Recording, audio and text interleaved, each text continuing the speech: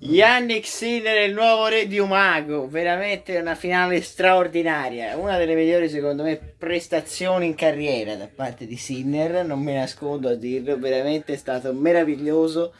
eh,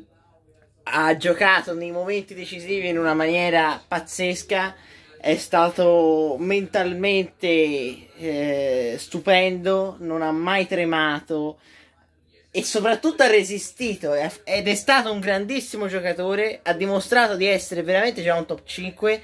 proprio nei momenti in cui Alcaraz poteva prendere il largo perché dopo quel tiebreak maledetto in cui Alcaraz era andato avanti 5 a 1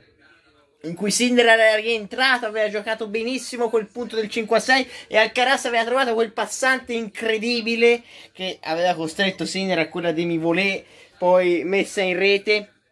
è un primo set che poteva assolutamente dare una piega definita alla partita e indirizzare la partita verso la Spagna, verso Alcaraz. E invece Sinner è stato meraviglioso e ha fatto girare la partita mentalmente, ha distrutto mentalmente Carlos Alcaraz proprio nel secondo game del secondo set perché quello è stato il punto di svolta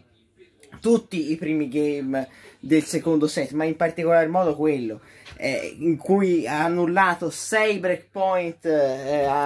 allo spagnolo, risalendo da 0-40, andando sull'uno pari, poi breccando il game dopo, alla seconda palla break, poi annullando ancora 3 palle break ehm,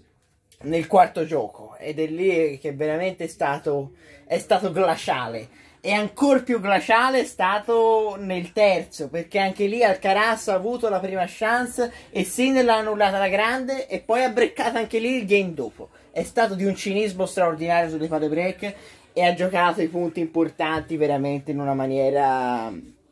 pazzesca. Dare 6-1 6-1 ad Alcaraz seppure magari non sia il migliore Alcaraz sulla terra è tanta tanta roba. Si cominciano a vedere i miglioramenti perché è un Sinner che veramente è aggressivo è un Sinner che, che anche oggi negli scambi lunghi dall'inizio della partita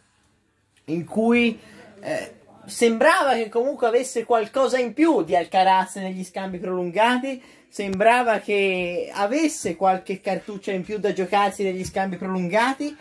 e, e teneva lo scambio teneva lo scambio da fondo continuava a pressare da fondo e conteneva anche i momenti di furia di Alcaraz. E in questo, ragazzi, la differenza è emersa. In questo momento Sinner, nei, nei punti decisivi, ha molta più maturità rispetto ad Alcaraz perché Alcaraz magari cerca sempre anche di fare un punto bello a volte non sa neanche leggere i momenti secondo me della partita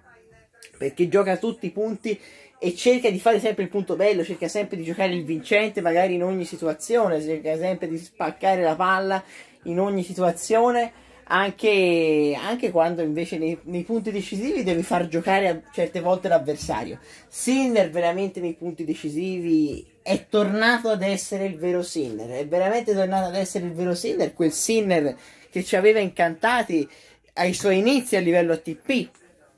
proprio ehm,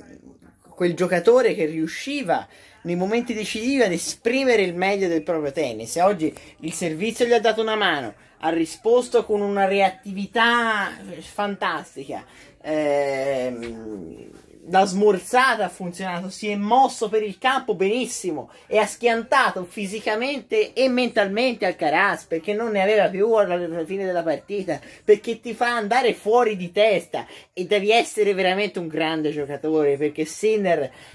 soprattutto all'inizio del terzo il punto lo doveva vincere 3-4 volte perché eh, Alcaraz era scatenato, riprendeva tutto, riprendeva gli smash, aveva perso un punto rocambolesco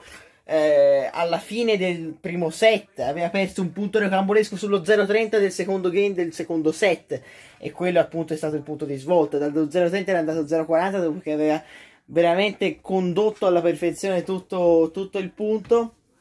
E poi lo smash che non era stato abbastanza incisivo Alcaraz che aveva giocato il passante. Ecco lì io veramente non so quanti giocatori sarebbero risaliti avrebbero reagito e sarebbero riusciti a ehm, a reggere proprio mentalmente e a, e a, risalire la corrente in quella maniera perché poi 0-1 hai appena perso il set in maniera estremamente dolorosa, 0-40, tutte quelle valle break, tutte quelle chance, e lui è stato estremamente concreto poi ad andare uno pari, e veramente l'ha fatta partire, eh, l'ha fatta girare la partita psicologicamente ancora prima che poi fisicamente, perché poi Alcaraz veramente nel terzo alla fine non ne aveva più non ne aveva più e, e Sinner si è dimostrato superiore anche da quel punto di vista, anche dal, dal punto di vista della tenuta fisica, della resistenza e della, e della lunga durata. Ragazzi, eh, gli italiani continuano a essere indigesti a Carlos Alcaraz. Ieri con Zeppieri non è che sia andato così lontano dalla sconfitta, aveva giocato un match bellissimo ieri il buon Zeppieri e alla fine purtroppo non se l'è potuto giocare fino in fondo Oggi Sinner ha veramente dimostrato di essere un top 10, di essere pronto a fare uno step in avanti. Mi aspetto grandi cose da Sinner nei mille americani e agli US Open. Può essere un finale di stagione che lo catapulta veramente nel tennis che conta e lo catapulta veramente fra i primissimi del mondo. Perché ancora mancava quello step, mancava quel passettino in più per Sinner per diventare veramente un grande giocatore, per diventare veramente un, um, un giocatore completo, un giocatore che può stare nei primi 10, può ambire a fare quel saltettino in più, andare nei primi 5 e lottare per la vittoria dei 1000 e degli slam. Ecco, Sinner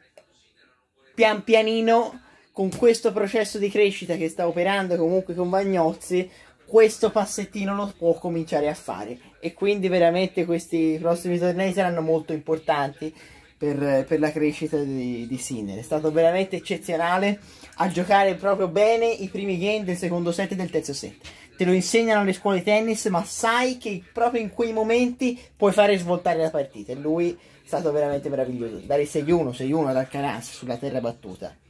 è per pochi eletti. E fare quello che ha fatto lui oggi mentalmente è veramente per pochi eletti. Grandissimo Yannick Sinner, fatemi sapere nei commenti che cosa ne pensate, una valanga che vi piace il video, condividete questo video, iscrivetevi al canale se ancora non l'avete fatto e a questo punto arrivederci al prossimo video.